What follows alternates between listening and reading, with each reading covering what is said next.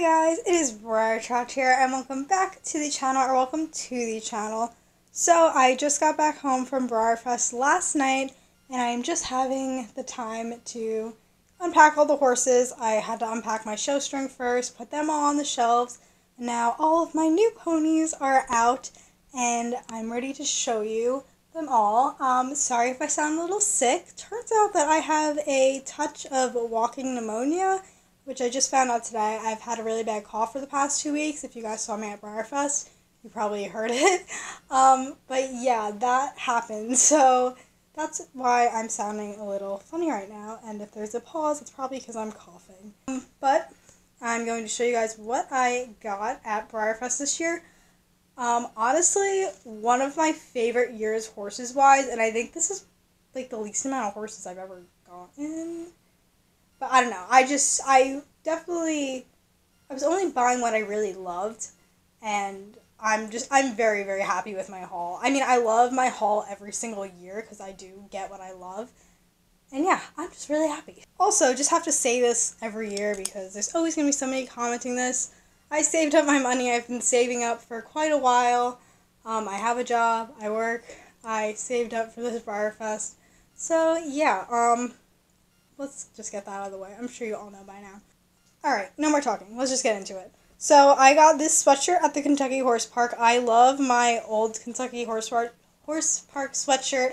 And then I also have a few shirts from there, which I just always love. And I, it's like not a hoodie, it's just like a normal sweatshirt. But yeah, I will be wearing this a lot because when I'm going to college, it is cold. So that will be put to good use. So the next thing I got was this free poster um, that Breyer was handing out, and it's for their 30th anniversary, so it's basically all the like molds with their years behind it in a poster.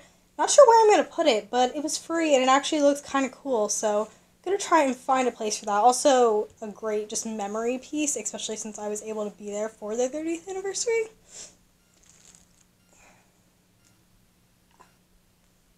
Then I got one sticker. I wish I got more though. Oh my god, the sticker game was so good this year. Yeah, this is from Lungs Custom Studio. She also gave me a pin. And I got quite a few pins this year. Oop, this is gonna fall. Um, I got a California Chrome one for just a dollar, just because I wanted a new pin for my little pin collection I got going, which is pretty big right now. Then the Salute to Horses one that you pick up. Um, I didn't get a magnet this year. I wish I grabbed one. I forgot to. This pin from Dark Oats Studios, which Pine Needle Studios um, pin, which I got one last year, so now I have two. And then at the social media meet, um, Valentina gave me a halter, so I had to figure out which pony to put that on. So thank you very much for that. So then here's just my um, signing horse. I already own this horse, but just with all the signatures on it. Thank you guys so much for signing him. He's filled up with signatures. I wish I spray painted him silver or something just so the colors would come up better, but whatever, we live with what we got. Alright, then I have four Olivers. Not sure what I'm doing with them all yet. I know I'm keeping two of them. I have to still look through and decide which one I like the best. Uh, and then I'm going to keep one in box, and then I will probably give one to my little cousin and then sell one. So if you are interested in an Oliver, let me know. Then I guess we'll just go right to my store specials that I got. Um, I still have yet to take them out of the box. That is my next thing once I'm done filming this. But I got Hall Hale. I literally couldn't say the name the whole weekend. My friend Jordan had to keep on correcting me. But yeah, um, she was the last one on Saturday. Like, there were people coming up to me like, uh, like where what where is she? Where is she? Because like I literally grabbed the last one. Like I could not put her down or she would get snatched right from me. Um, but yeah, I'm excited to look her over. She only I've seen like one minor flaw on her from the outside, but I didn't have much of an option. But I knew I wanted to come home with her. And then Rico was kind of an impulse buy. Um, I'm not sure why I got him, because uh, now I'm just like, uh, I don't know where I'm gonna put him on my shelves, but I did kind of want him, and like I have always wanted a silver, and he was like pretty obtainable, like because there were literally, he was probably the least sold out of, like not many people bought him, so I literally sat there looking through all of them, and this was the best one I could find. Still some minor flaws, but overall very nice, and I do like my flea bitten grays. As you know, I own one. Okay, now I'm just going to go to my special runs. So this isn't really in order of how I got them. This is just kind of a random order. But first, I got a glossy Diana with the long mane variation. Um, I think the long mane and braided mane were split in half, and then there was the pinto one, which obviously did not get. I wish. Um, but she is super pretty. I'm super happy. I like the long mane version better than the braided, so I was just happy to get that. Then I got a glossy quill, which, oh my god, I love this horse in gloss. I've always just, if you could gloss a horse, like, get a gloss. Like, I just am that type of person. But she, or he, is super nice. Um, all of his markings are pretty, like, nice, and I'm very, very happy with how he turned out. Um, super happy that they did a split of gloss and matte for this run because, oh my god, I love him in gloss. So yeah, he actually will probably join my show string just because I don't really have any Appaloosas, and honestly, like, I don't know, I just love glossy bays. I just think it looks so, so nice.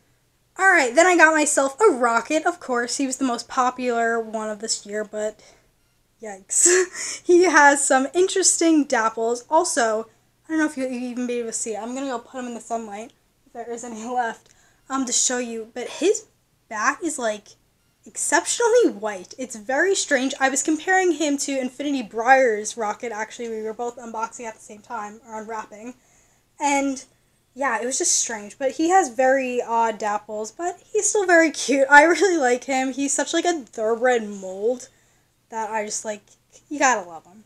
But the Pinto, I wasn't really a fan of the Pinto variation of him, even though I know like that's very desirable just because he's already like such a light color, I feel like any lighter would just would not look nicer. One horse that I forgot now that I'm looking at my shelves, I picked up this guy in an antique shop on my way back in Pennsylvania. Um, he was ten dollars. He's the original Adios, and I'm thinking for a video that I'm going to try and fix him up. So if you guys want to see that, let me know. Alright, now on to my surprise horses. Um, this actually this wasn't the first surprise I got, the other one was, but I'll show you that guy in a second. Um, but I actually got the Pinto variation first, which I traded for this guy just because I honestly didn't like the Pinto variation or paint variation. Um, but now I've learned that this is the most common and the paint is probably the rarest. But honestly, whatever. I do like this horse and I was planning on keeping him anyway, just for my show string. He's fairly nice. His dapples, I feel like all the dapples were a little wacky this year, kind of, but whatever. Um, he's really, really nice. I love his eyes. Wow, they're so detailed. And he's just such like a nice, simple dapple gray. So then, oh my god, I would never believe it, but I pulled a glossy. Wow. Um, you guys will see him in my vlog. Oh yeah, by the way, I vlogged this year. I'm going to be splitting them up. But his shine, wow, I want to try and just, he literally like shines with gold. You're going to see it in my vlog really nice because he's in natural sunlight. But wow, I love this horse. He's my favorite variation in gloss by far. So I'm very, very happy that I was able to get a glossy this year. First time I've ever pulled a glossy at BreyerFest. I just couldn't believe it. I was getting so lucky with who I pulled this year. So, to make my luck even more, I got a gray pepper.